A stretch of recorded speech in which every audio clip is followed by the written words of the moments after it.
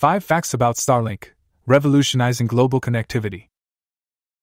In a connected world, access to high speed internet is essential, but the billions of people in rural and remote areas have limited or no connectivity. Starlink, a revolutionary satellite internet project, aims to bridge this digital divide.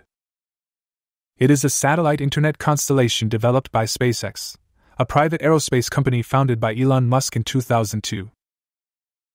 While SpaceX is known for revolutionizing space travel, Musk introduced Starlink in 2015 as a way to provide global broadband internet via thousands of satellites in low Earth orbit. Musk saw the opportunity to use SpaceX's expertise to create a high speed, low latency satellite internet service for underserved regions.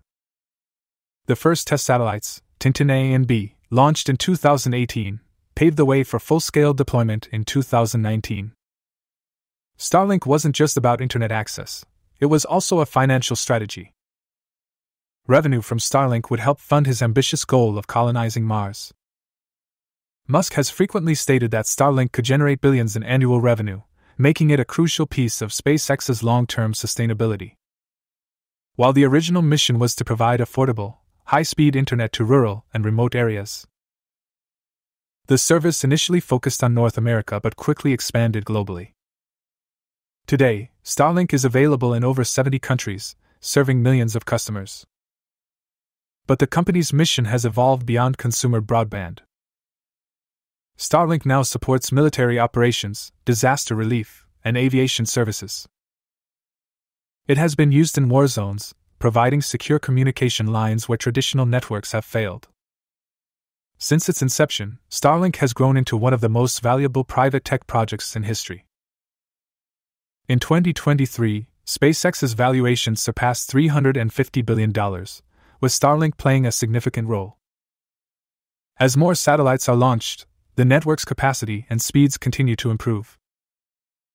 Some analysts predict that Starlink could become a trillion dollar business in the coming decades, rivaling traditional telecom giants.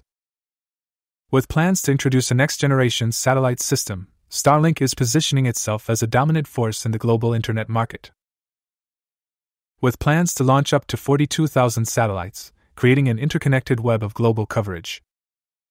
The company is also working on direct to device connectivity, allowing smartphones to connect to Starlink without ground terminals. Furthermore, partnerships with airlines and cruise lines mean in flight and maritime internet will soon be seamless. If you liked this video, like and subscribe. Thanks for watching.